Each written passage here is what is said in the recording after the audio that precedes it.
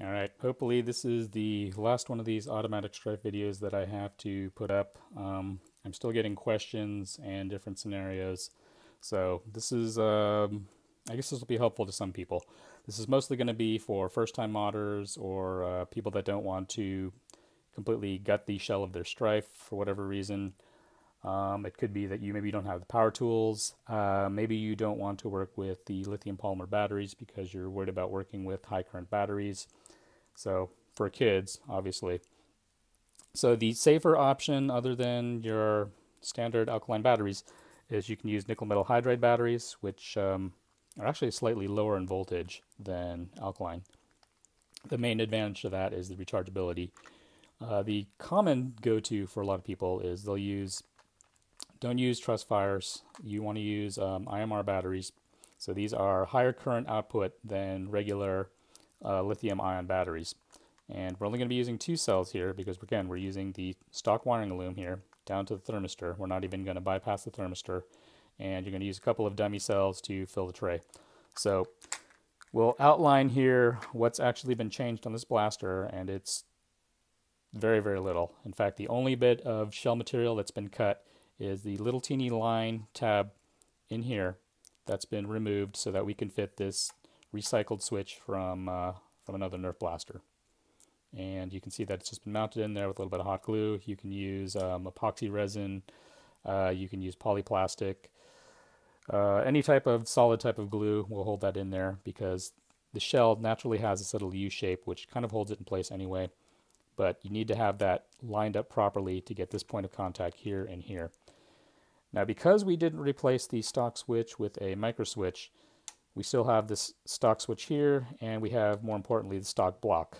And because these, in order, in order of keeping this, uh, this circuit as simple as possible, these switches are not wired sequentially, which means that this can activate by itself.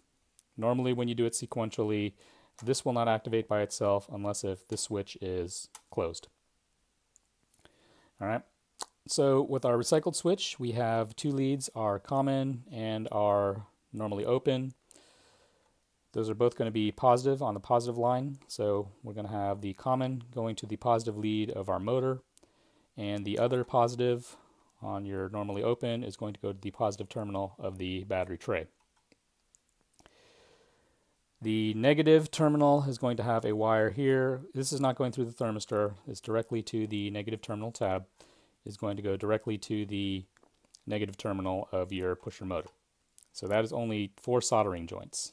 Again, this is simpler than rewiring a Stryfe for um, alternate battery source or for additional, for changing the motors out. Um, in terms of functionality, it's a stock Stryfe. All right. Trigger won't engage unless if the rev trigger engages the physical mechanism. And then from there, see if we can do this without getting the uh, motor cage pop out. Alignment's a little bit off. Let's, there we go. The alignment will be uh, proper when the shell halves are bolted together. Let's try that one more time.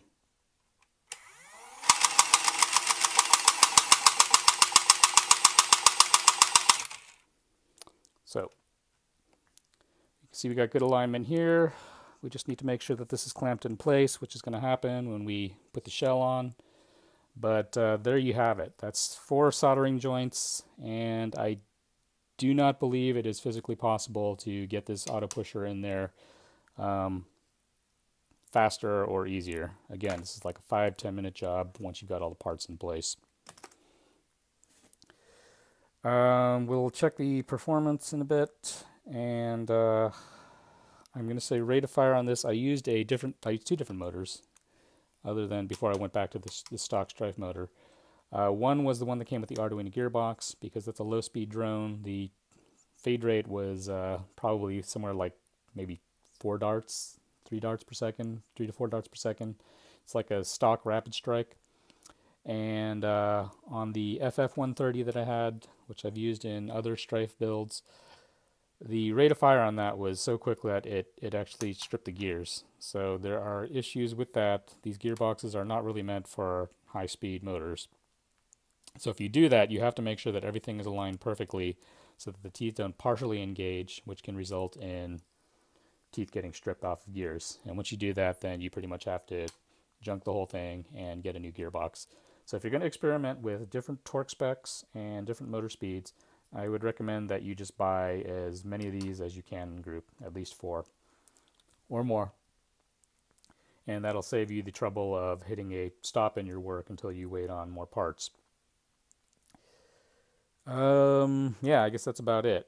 So we've seen how simple the circuit is. We've seen how it works. The only parts that have been removed is the dart brush because that uh, increased the feed reliability. We've removed the stock arm and the mechanical actuator. And that that's pretty much it.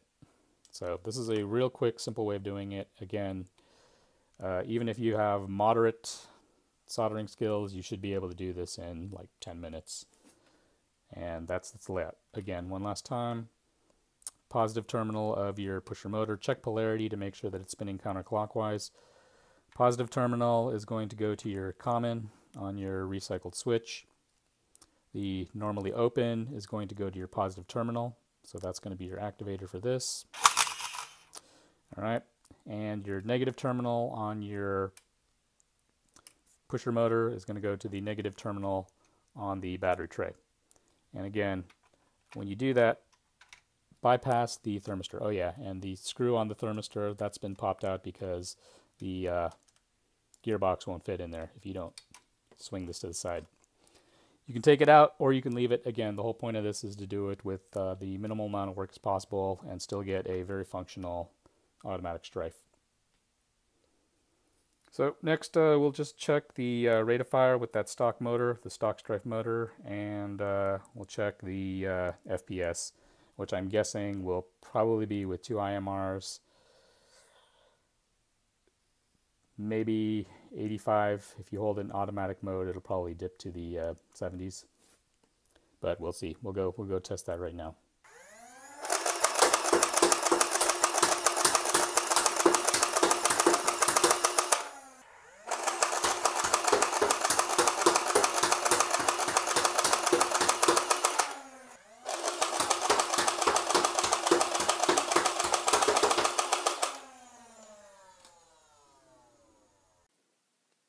Alright, so some of the problems that I'm having with the feed system here, it's feeding, but you can tell that there are skip steps where you can hear the mechanism actuating, but there is no dart being pushed into the flywheels.